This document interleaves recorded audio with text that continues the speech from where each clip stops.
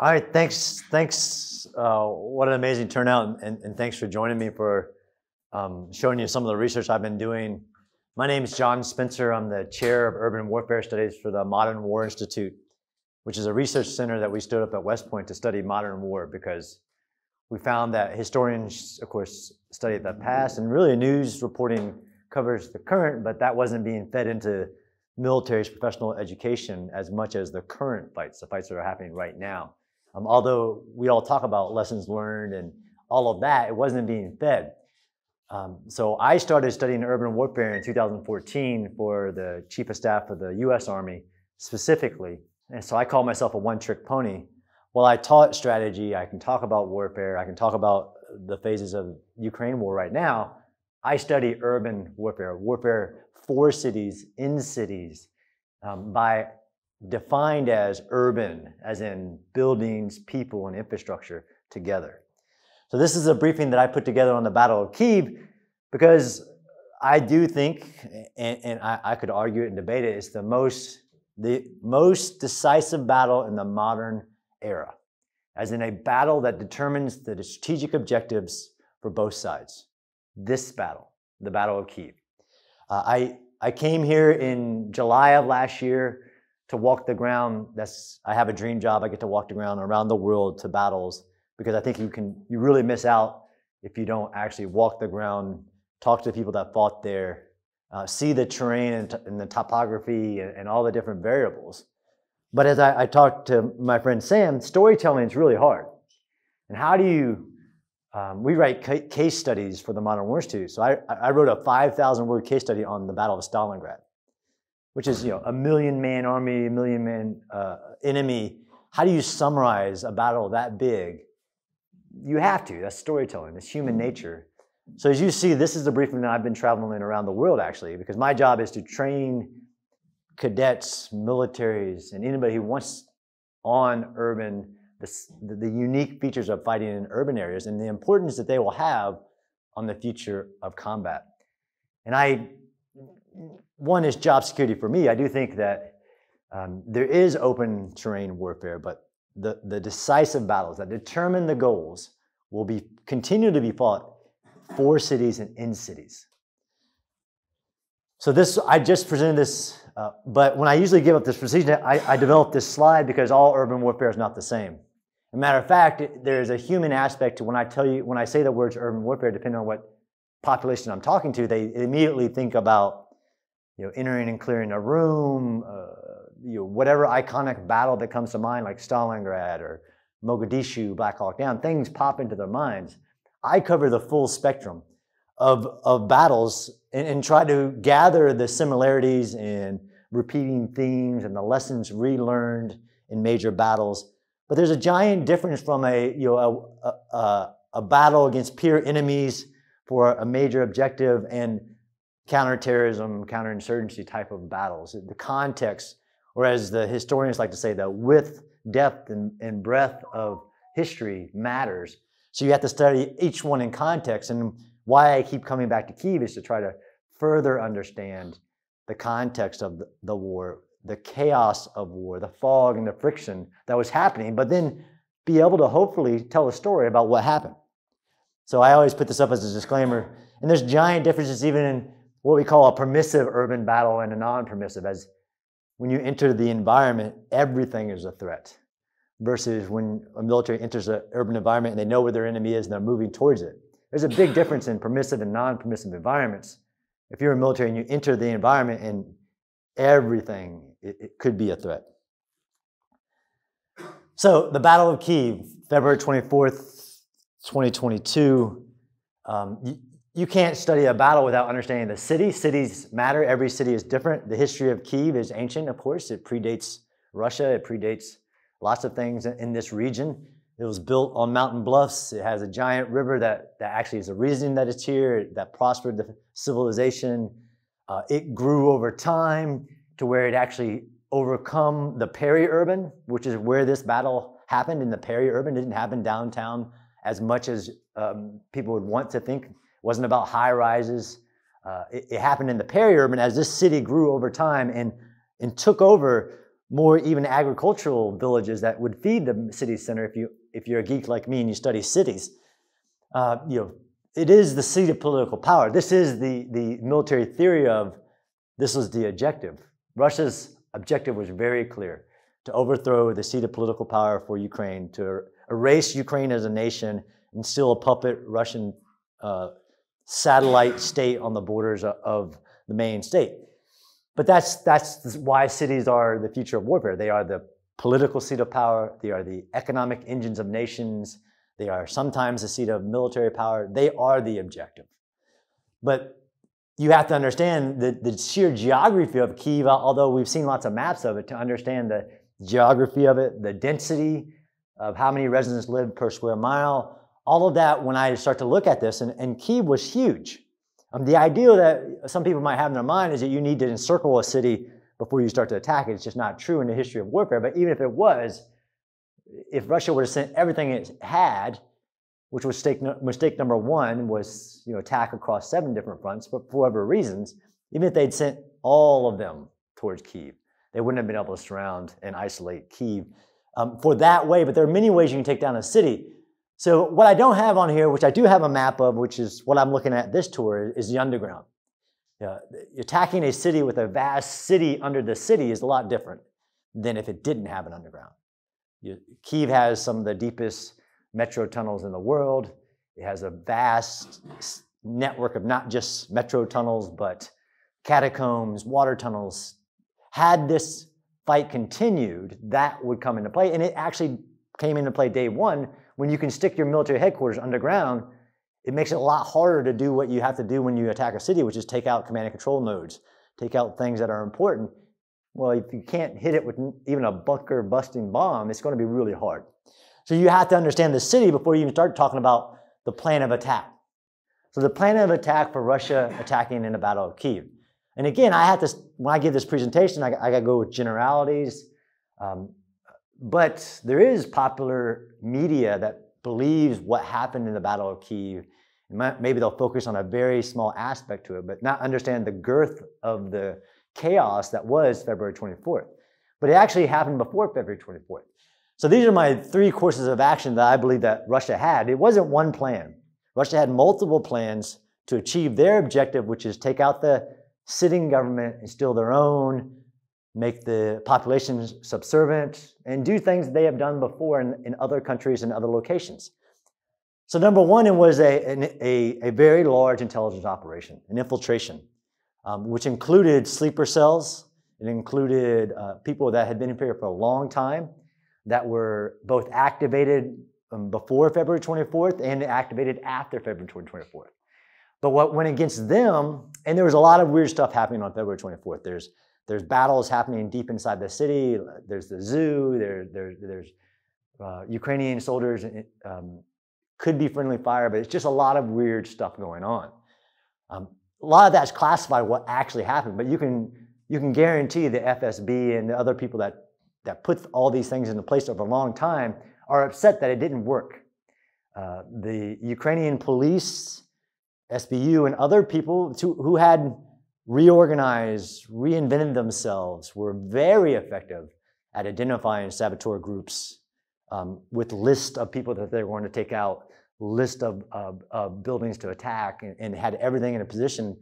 There's some aspects of just bad spy work, bad signals intelligence, and things like that that led to it. But you can pretty much say that course of action number one failed.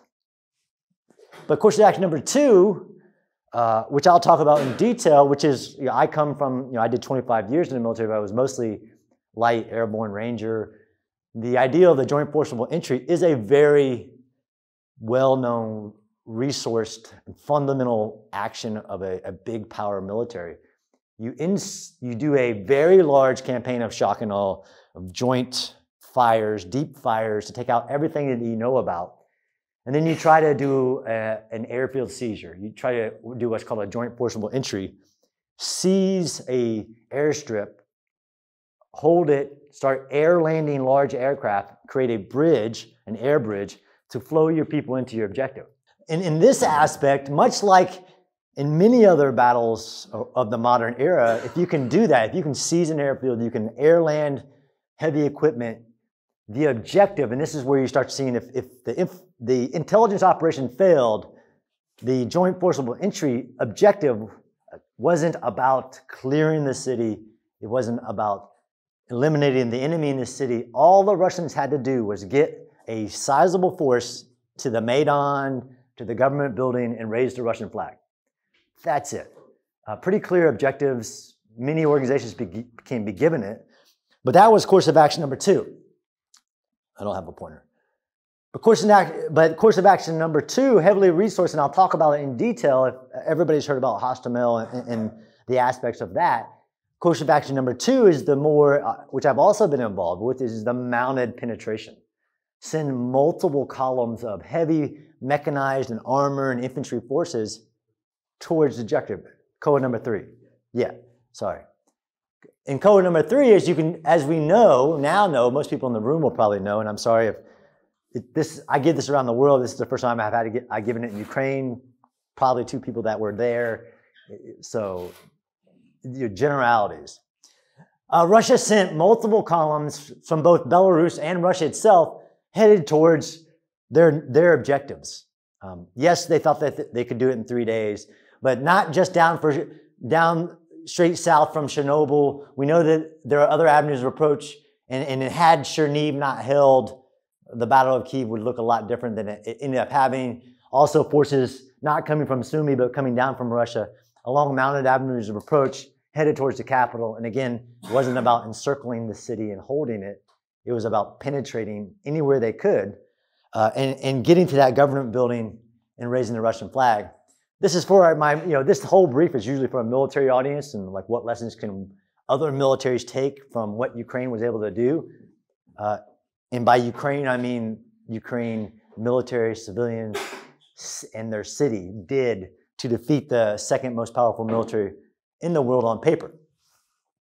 So, Hostomel Airfield, Antonov Airport, February 24th, FSB operations going on, Intel operation was already being taken down, supercells, multiple raids, um, and I learned a lot about what that looked like. But the joint forcible entry was a go. It starts with long range fires, of course, hitting everything that was ever known. Here we get into the politics, right? So politics of war. Militaries don't get to do always what they want to do, and there's always political considerations in war. War is politics. Warfare is fighting.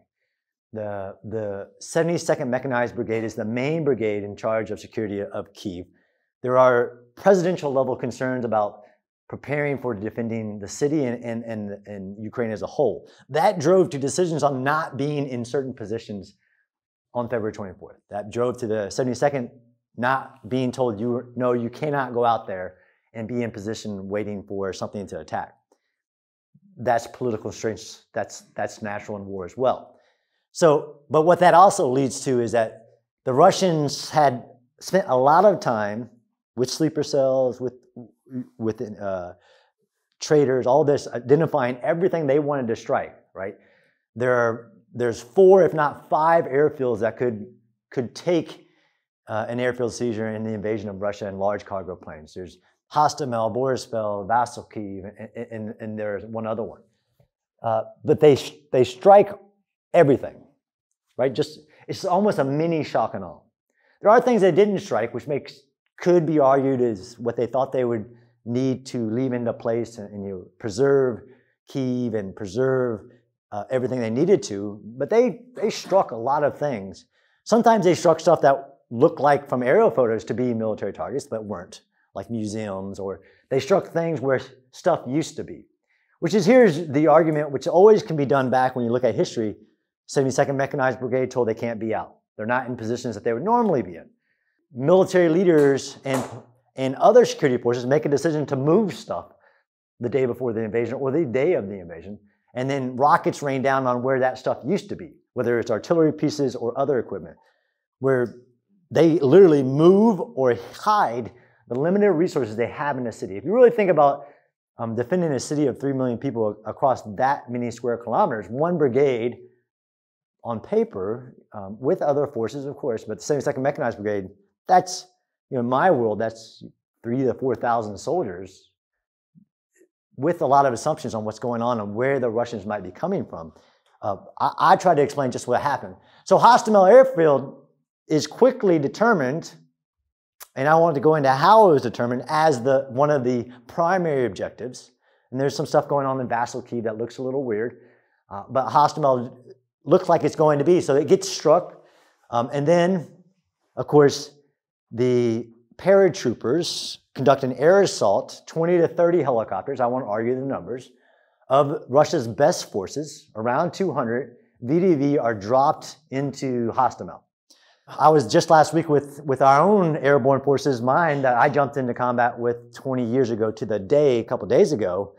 And this is why this picture is interesting to me because it's the VDV being dropped off at Hostomel, with what they can carry on their back, right? Because that's kind of normal. You drop the paratroopers, they seize the airfield, they secure blocking positions, which is interesting that, you know, of course, and this is war today, CNN's interviewing VDV commanders at their blocking positions that they're trying to establish within hours uh, of their arrival. But that is actually war. And, and, and I, I, last week, reminiscing, we jumped into northern Iraq in the middle of the night, and we woke up. There's CNN and Fox News. And I, it's funny that I'm at Kyiv Independent. It's just what happens. Uh, it's modern war.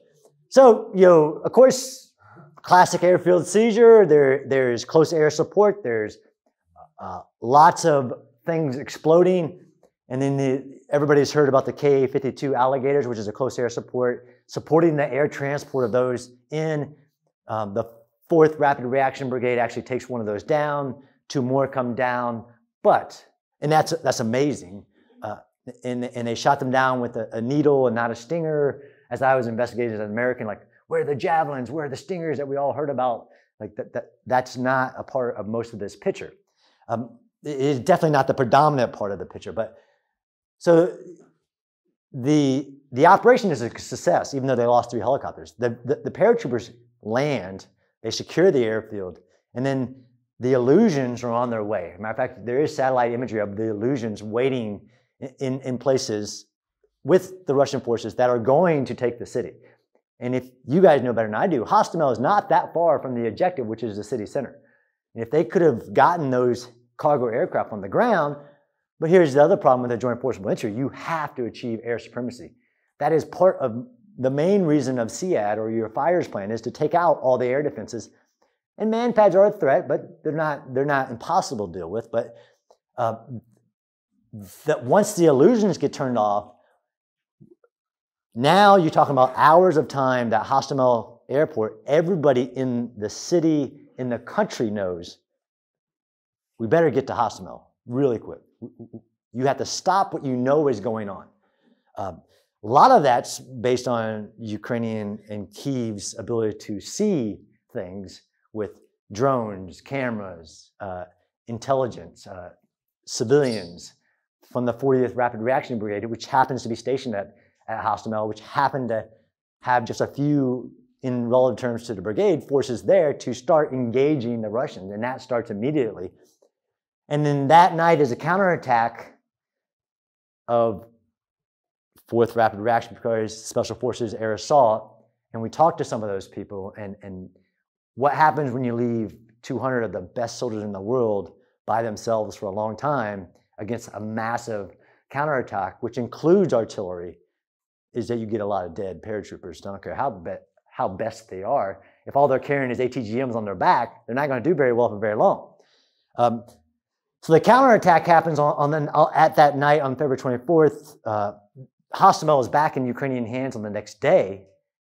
But in, in, in, in the credit of Russia, is that while course of action number two, joint forcible entry, is happening, those mounted formations are on their way. They're hours away from Hostomel, coming down out of Belarus. Um, even though that there are elements engaging that convoy all the way up by Ivankiv, they're on the way. So the Ukrainians make a decision on February 25th, which I found fascinating, and I couldn't learn until I actually came here, is why did Hostomel fail? I mean, even with challenge and everything, the Ukrainians cratered the airfield.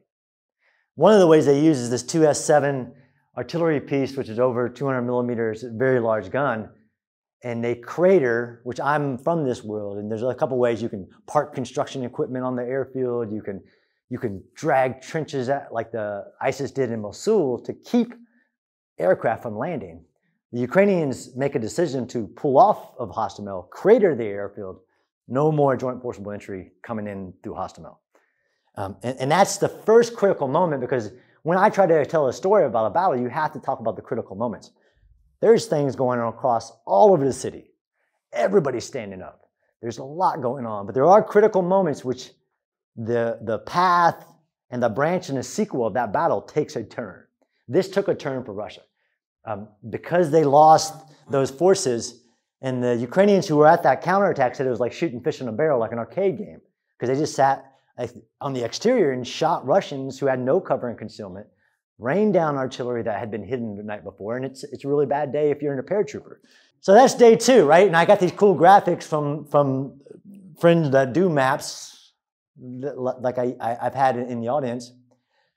So the joint forcible entry gone, mounted attack happening. It's matter of fact, the, the, the real difference between the dead VDV and the arrival of the mounted formations is only hours. So that was the issue. Had those mounted formations made it to Hostomel and linked up with the VDV, there was still a chance of doing that operation, or at least pushing that mounted formation through the Hostomel, through Irpin, into Bucha, and achieve, you know, achieve the goal, or not through Bucha, but through Irpin and achieve the goal. Well, here's the problem though, is that mounted formations must stay on the roads. This is the muddy season. Um, and then the other aspect is, again, I said cities are people, buildings, and infrastructure.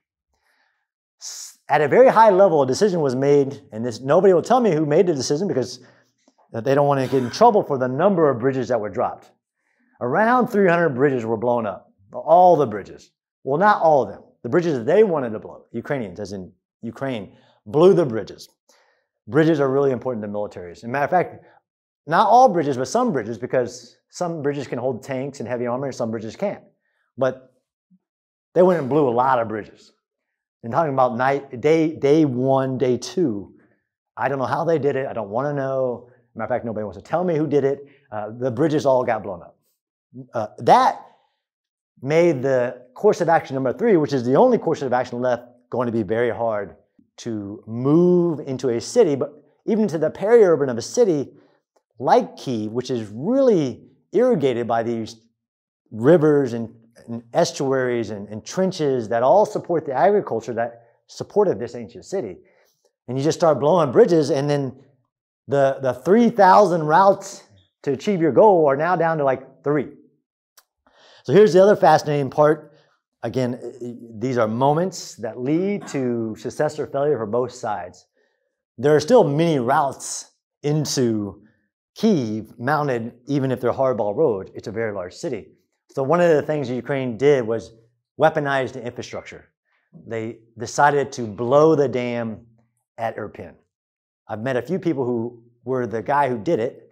Uh, I just know it was done. I don't need to know who did it. I'm not going to put his name down uh, or who, who, who brought the ideal, it's actually been like in New York Times, who brought the ideal to, it doesn't matter. It was blown.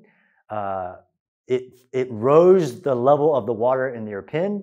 It flooded Demydiv, which we know about, which is really taking away this, this really straight path coming you know, north to south down into the city center. It took that away, but it also raised the water all across Irpin, but oh, by the way, there are actually other rivers that I was told that were not blown but opened on purpose to raise the water level, to make it more of a challenge to move into the city, even to get into the city.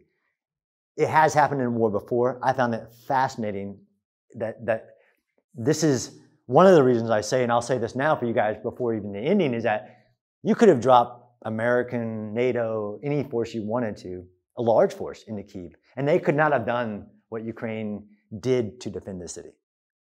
It's just not possible.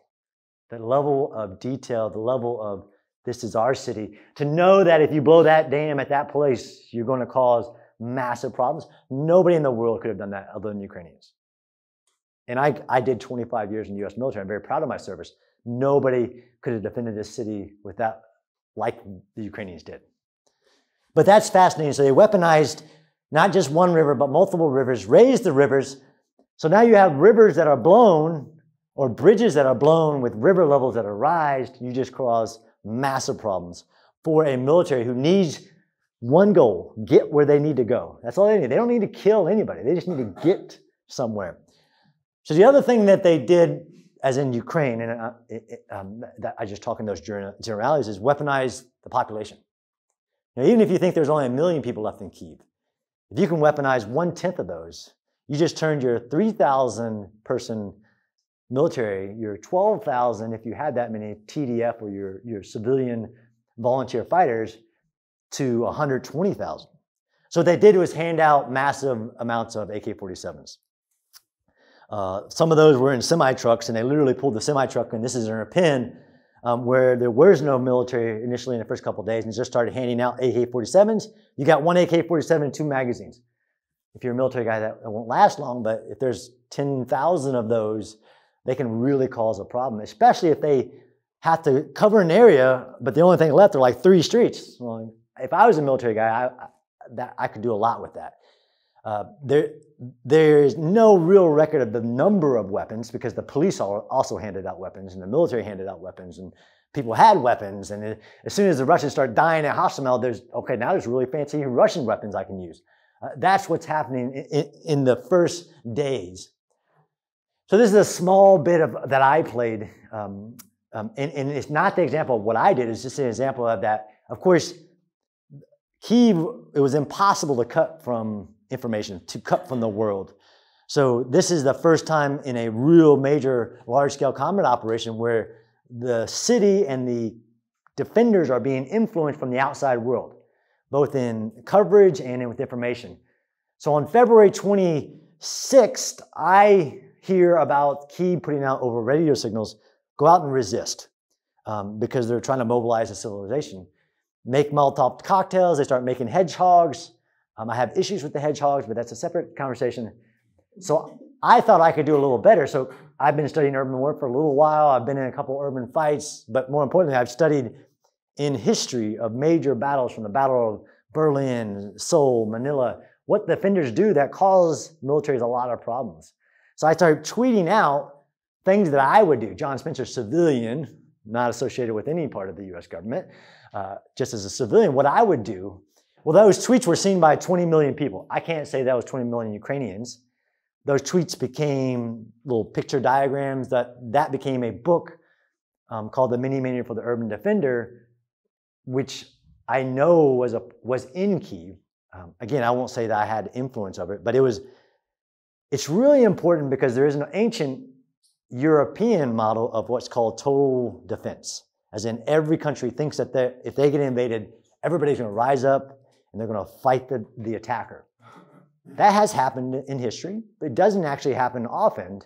Um, but this wasn't something that got written about a lot after World War II called total resistance, which is when you've actually been invaded and you want everybody to be you know, guerrillas and, and, and attack the military once they're in. This was total defense.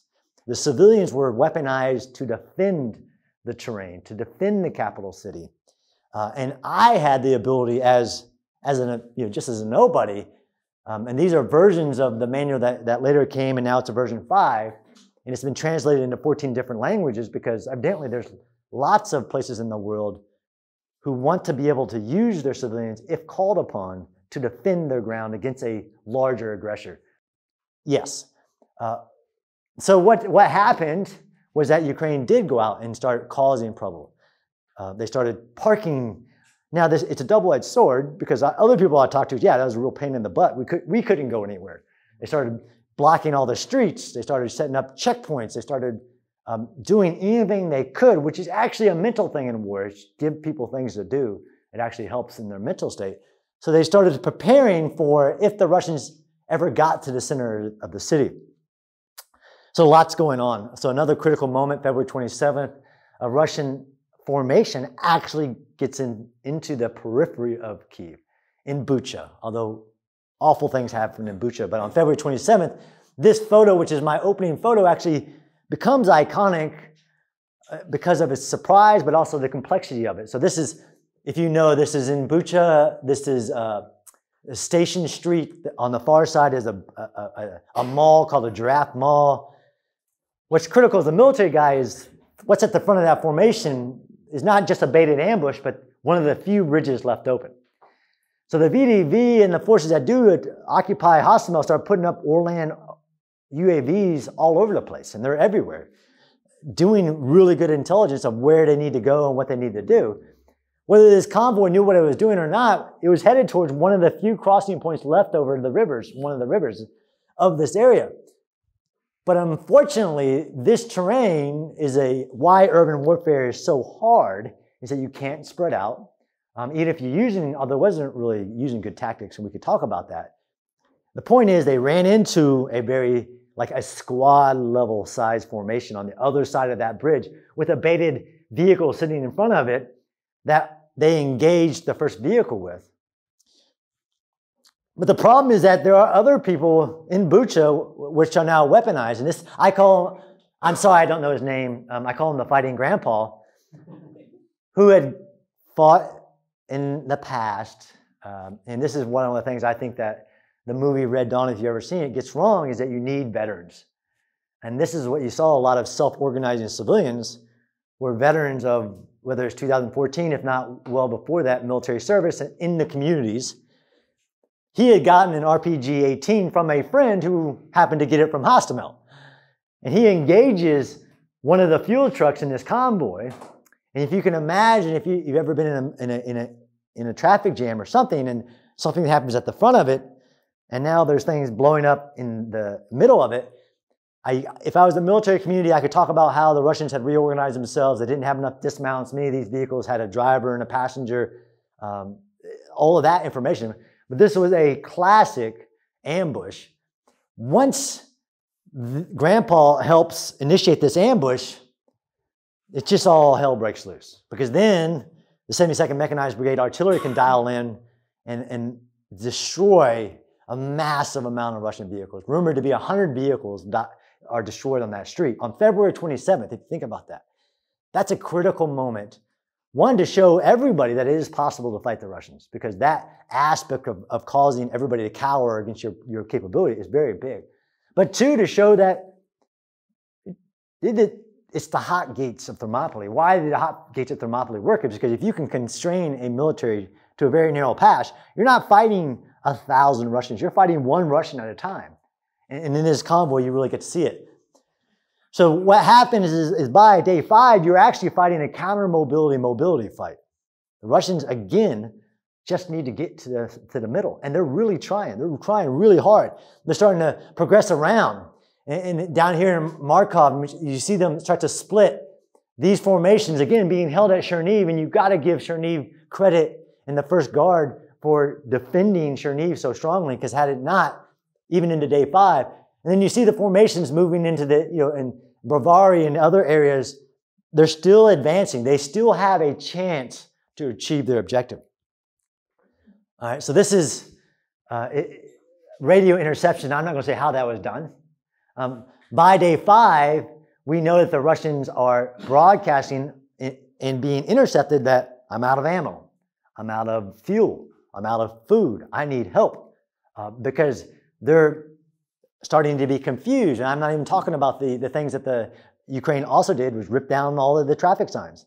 Ukrainians uh, made it really hard to get places. Russians, some didn't know where they were going. Some had old maps. Some, it, it just the chaos of war. We know at this point are some really good open source um, intelligence showing that the Russians are really struggling at this point. Uh, to include the infamous 40, 40, 40 mile, at one, some people report, or 40 kilometer convoy coming all the way down out of Belarus through Ivankiv um, and trying to get to the formations uh, in Hostomel, in Irpin, trying to bring in everything that a advanced force like that needs. And it's the same way the West would do it. Mounted penetration moving with speed and shock and awe followed by logistical trains that will then resupply once they've made first contact. Well, again, there's very few roads, and everybody in the world sees this convoy coming, to include Ukraine, who sends things out to make it go boom. Um, eh, but it can't advance. It was never stuck. The 40 kilometer convoy was never stuck. It just couldn't advance forward because it, it sure did turn around later. So it, there's a thing within my community about urban defenders usually lose.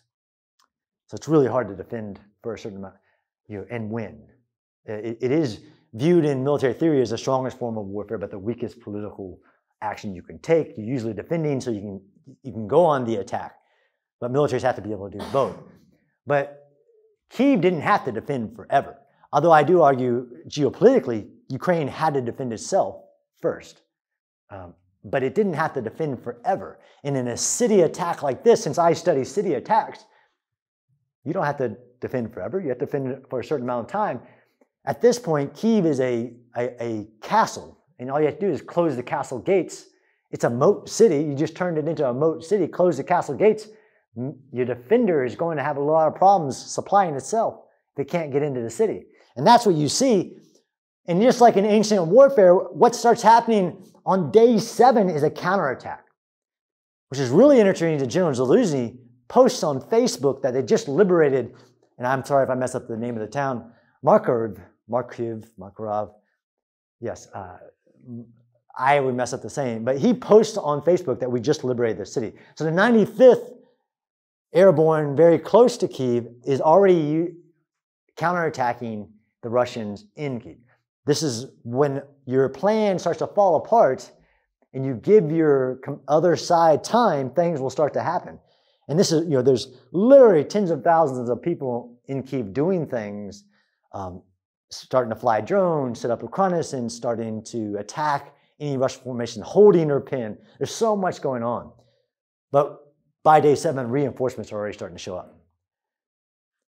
So this is for military communities um, about the, what we call a three-block war. You can ask the military force to both have to engage the enemy in attack, uh, protect, help, preserve civilians, be a part of evacuation, and humanitarian aid, and that's what people get to see in the Battle of Kiev. That's what the military was doing. These are military formations that are trying to establish safe zones for uh, civilians, trying to get them across bridges. And, and there's the famous one in Irpin, but it was happening in many locations. That's the three block war that is urban combat, since it will have non combatants in it. And if it's your non combatants, you're really going to protect them. So it's interesting. I've learned a lot about this aspect of, of, of um, since I've been here this time, I give this highlight to, uh, and I call it gr- the fighting grandma. Because out here on the hinterlands of Brovary, as you can see by day 10, the formations are, are closing in on the east side of Kiev. And the east side of Kiev, topographically, is a lot different than the west side of Kiev. The density is different. The main avenues of approach, the lines of sight, the, the uh, elevations are all different. But on the east side, out here, and they took me all the way out there, and I didn't know where I was going. It's out in the farmland. Like, look, I'm the urban guy. But my host wanted me to see grandma's house and the active minefield that is actually just the blown up debris because grandma on day 10 of the war looks out her house and sees this large convoy outside of her house of Russians that includes fuel trucks, ammo trucks, uh, other vehicles. And because you Kiev set up a system, a very effective system and intelligence fusion, which I, again, why nobody else could do this, that had been in the works before. Um, if you know about it, then, then you know about it. Made it possible that grandma could pull out her phone and call somebody or use an app and then report this Russian formation that then gets filtered through, and, which it blows my mind as a, a former military guy sitting in Baghdad in infusion cells that a civilian would call in that there's a convoy, and then you validate that through different assets and direct a TB2 drone towards the convoy and blow it to smithereens. And they say that God protected grandma on that day because it blew everything in that entire region up except grandma's house. It's just that that is war. But that is an aspect to sensor management that is war. You're not going to enter an urban area and not be seen. And we saw that during this war, whether it was a traffic camera or other types of cameras, whether it was a drone, whether it was a civilian with a cell phone, if you, even if you tried to shut down the cell phone network, there's sensors, it's impossible to hide. But how Kiev and Ukraine was able to filter those in blows my mind, and I've learned a lot about it. And, and it is, um, again, why very unique situation. This, this, this battle needs to be recorded in history. So on day 15, there's a little battle going on in, in, in a city called Moshchun, or a village. I was taken to this, the, this, the village, and I almost, like, look, dude, I'm the urban guy, and we're driving through like the Hurtgen Forest to get out here to Moshchun because it's surrounded by these dense woods. Um, I had studied a little bit. I knew a little bit what it was and why I wanted to go there. But because, again, because you got to give Russians credit where they had credit, they're in chaos. It's, it's two weeks into the war. They can't get where they're going. They identified that at Moshchun, they could ford the Irpin River.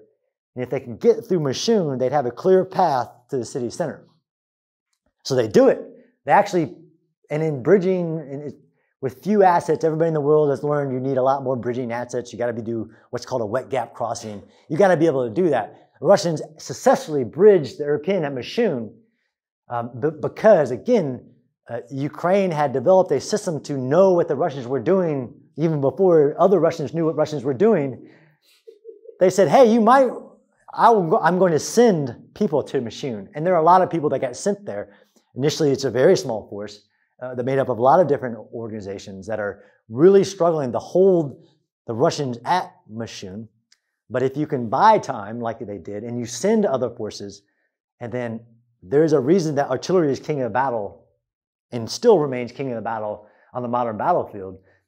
What happens in Moshchun is that eventually the Ukrainians are able to use both the urban, because there's one road that leads from that bridge uh, river crossing through Moshchun and get you out of Moshchun. And there's one road, which makes it really hard as a, as a military guy to push stuff through there.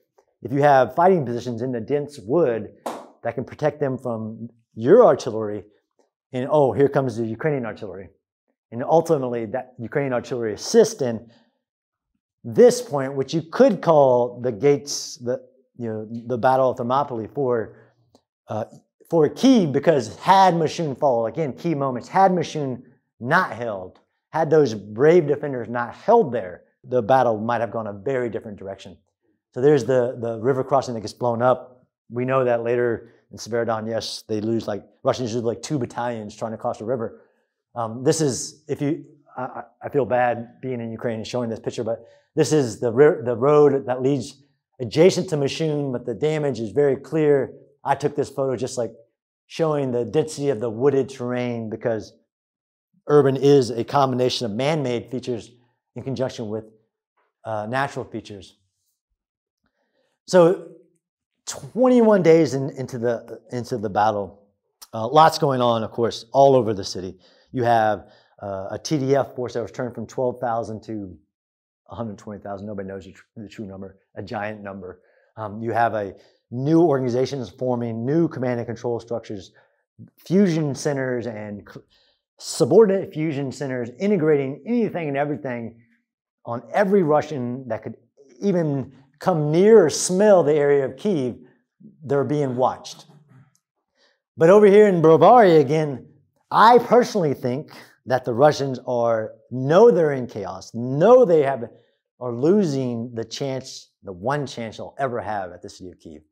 And they get ordered to move, as in they, they the Russian formations uh, on the east side in the hinterland, to which there's still truck uh, tank Russian tanks stuck in the mud in Brovary that they took me to because they can't even get them out with tractors.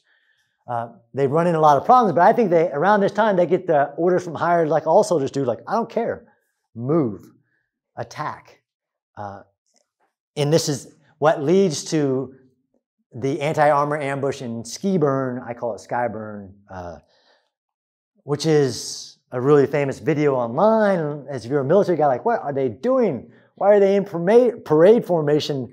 You know, not, not even with a reconnaissance or a bounding overwatch or nothing. They're just driving down the road. I don't have the, all the answers to that. I do think that they were ordered to move quickly, um, but what they run into is a, a very well prepared 72nd Mechanized Brigade, checkpoint blocking position, ambush, what you call it what you want. And they knew that this formation was coming a long time before it started moving, not just when it showed up on the road, because you can see down the E95 for a very long way. And the, the bridge is, again, another bridge left open was, but it was left open with like initially a platoon of the 72nd Mechanized Brigade. And as I go around the world, this is what I, because we have a real resistance to civilians anywhere near us. I, I don't like civilians near me. Like, go away. I, go away. That, that's what you usually do is you pass them off. So what do you do if you're the 72nd Mechanized Brigade who has 100 volunteers showing up per day going, how can I help? Um, well, when you take, take that position, 10 to 2, and that's the element of the complexity of an urban fight. That's what they were doing is that these positions, like the 72nd Mechanized Brigade, to the top right is a, is a TV journalist that you know, made the news, as a, TV journalist who had, for some reason, had trained on the Stugna before the war, who did, once the war happened on February 21st, made some calls, went and picked up a Stugna, called her friend in the 72nd Mechanized Brigade, and he said, oh yeah, go to, go here, go to this checkpoint. And she was a part of this with other people, this you know, very iconic anti-armor ambush that happens in Skyburn. So uh, by day 36, if you can see from these graphics, which are really good, Cherniv holds. I mean, I think that that story should be written very strongly. Um, Eastern Kiev holds very strongly. Uh, but there's also a lot more blue icons in the middle of Kiev there are fundamental principles for attacking a capital city. There are multiple courses of action and ways you can do it. I could, I could list out six. Uh, one of the ones in this one is you never cut, you never isolated the city. And you don't have to surround the city to isolate it, but the southern advances of, of the capital city were never cut off. There are people ordering massive cameras and installing them as the war is going on because I'm not saying Amazon delivered those, but stuff's still coming into the city. Weapons are coming into the city. In-laws are coming into the city. Special forces and reinforcements are coming into the city. It's going to be really hard for your small little Russian forces to do what they're doing if, if the person they're opposing is advancing and the 140 kilometer convoy can't get off the road. And that's what happens. So on April 1st, we know, the world saw, Russia, the second most powerful military on paper, publicly announced defeat, publicly ordered a withdrawal, publicly stated their strategic objectives. Oh, that, that wasn't our goal. Our goal is the Donbass. But this is a time when you can see, I teach war for a living, and it's really hard to say what victory looks like. But it isn't hard to say what a decisive battle looks like as in something that actually determines strategic objectives. Because Kiev held and defended itself, Russia lost the war for Ukraine.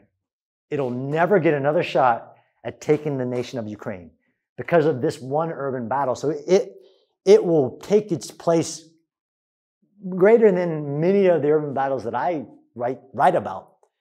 Uh, so what's interesting is that they make this call. They say, hey, no, no, that wasn't our goal. Uh, Donbass, the South. Uh, eh, eh, that's April 1st. That's April 2nd. Uh, if you got to give the Russians credit for one thing, although they did a lot of things right, they had a they had a very robust plan with multiple courses of action. There's one thing that they did, and I went all the way up to Ivankiv.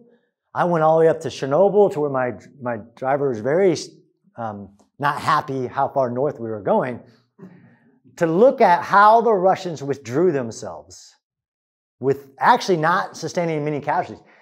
Some Ukrainians I talked to said they thought that another attack was coming because artillery rounds started increasing on April 1st. Well, one thing that the Russians are very trained at, clearly they're not trained at conducting force projection to take a capital city against opposing formations where the population is also against you. But one thing that they actually did train back in Russia was withdrawals. And that's a military term. There's only three, you know, attack, defend, withdrawal. And there are, there are variations of withdrawal and then variations of attacking and defending. They withdrew, and that should go into history books tech, by textbook. They secured critical bridges in Ivankiv and along their route. They dug tank ditches into the cement and had tank companies securing the withdrawal route. They increased artillery, which I don't know why they didn't use that before, increased artillery to cover withdrawing forces. And overnight, that stuck 40 kilometer convoy turned around and drove away. And it wasn't there no more. And they actually didn't lose that many forces, just like in Kherson. Um, I learned actually through further interviews of American generals that no, no, that's something they practiced in large scale operations back in Russia was withdrawals. You can, I'm not saying nobody, we all should practice withdrawals, but that was pretty impressive. So what are the lessons that I tell people they should take from, you know, it, it varies by stakeholder, right? If I'm talking to a tank uh, regiment, I have different lessons. If I'm talking to paratroopers like last week, I have different lessons. But in general, is that you have to understand the city. And this is why, again, nobody understood the city, to include Russians, better than the residents of Kiev. And whether you understand that they had a plan to defend the city, whether that wasn't executed, whether it was delayed, started, um, whether all the different variables, the reorganization of the police, the reorganization of the government, reorganization of the military and the TDF, all those things, um, you have to understand the actual physical terrain to include the underground. You have to understand the people um, and, and the influence that they'll have on your operation as a military because within the military community, we like to practice urban warfare with no, no civilians around. You just fight it out against an enemy, defending urban terrain. Like there are millions uh, of civilians that can either be against you, which was the case in here in Kiev. They can be for you, which wasn't the case here in Kiev, or they can be neutral and just hiding. And that's usually what we like to practice if they're hiding and they're in their basements and we, and we need to deal with them as an obstacle. All militaries must be able to defend, and, and this is a big, actually, a weakness in Western militaries is that we're always attacking. It doesn't matter from where around the world, but we're attacking. We'll, nobody needs to defend, like Patton, like oh, attack. Uh, and the war in Ukraine definitely shows that everybody is attacking or defending at any point. But you better be able to, to hold ground that you want to keep just as much as you are taking ground that you want to take. And again, where the Russians have shown wanting is on their ability to defend. Uh, resource civilian additions, you know, th- there will be a lot more learned about the double-edged sword of giving people not trained in weapons lots of weapons. Um, and there were issues. How do you get those weapons back? Um, but the ideal of total defense was shown in this, this case study to be very effective. And it wasn't even really, I mean, it was tested in places like Irpin, Bucha, but you know, deep into the city, if you think about a large complex when there's thousands of weapons, you don't know where that is. that's what I put in my manual. It, I, as a military guy, that, that's very scary. Uh, if you don't know where, what's fighting at you. In the, again, Red Dawn didn't have any veterans in it. Um, you have to have this flexibility and, and the um, apparatus in which to have the awareness when you have limited resources. Why does Hostomel, Moshchun, um, Markov, Brovary all go because of that intelligence picture, because of that fusion of information. I mean, it just, I'm telling you, in the West, it blows your mind that a civilian would call in and go, hey, there's some guys here, you might want to take care of it. There's no mechanism really for that, at that scale, especially. And how that was done, I know it's being shared, but it needs to be shared at, at great load because the cognitive load of the military is in that's what we say in the urban terrain the complexity is unlike any other environment. Look it's hard to fight in the jungles been there. It's hard to fight at high altitude like in pakistan your weapons don't fire. But the complexity of the fighting in urban terrain is unlike any other place on the planet. And we see that in the battle of kiev and how you reduce the cognitive load for the fighters for the commanders who are making decisions is a very uh, tough thing I have I have lessons about the actual fact that urban terrain is, is unavoidable. I wrote something recently about what I've taken. Of course, there's, it's mostly urban uh, from the last year of war in Ukraine. Um, it's a fact that your the objectives will be urban, and we see that as fighting today. You're going to have to go through urban, but the decisive moments of any war are going to be in the cities or for the cities. There's some human nature to that. Is people just like the na- naming something, like name to me a battle if you're not in the military that isn't a city. It, it just, it's just a, there's a human aspect to, and why that's an enduring nature. Um, that's my last slide. Those are some of my books. This one is the main manual for the Urban Defender that I actually updated after visiting last time as everything from how do you shoot low moving things down with small arms. All these are lessons relearned, and all I did was take from many manuals and put it into one with little diagrams because people under stress need simple instructions. But I updated it after my last visit. I might update it, but there's a version five online, uh, free to the world uh, for now. Well, with that, I'd like to turn it over to questions. Um, again, it's about storytelling and, and, and, capturing the moments. There's so many other things that could be written about the Battle of Kiev I mean, how it was done. But we have to tell this story. I mean, why I keep coming back is, is to gather more and more of the story um, to understand how the second most powerful military on paper was defeated uh, at the most decisive battle of the modern era.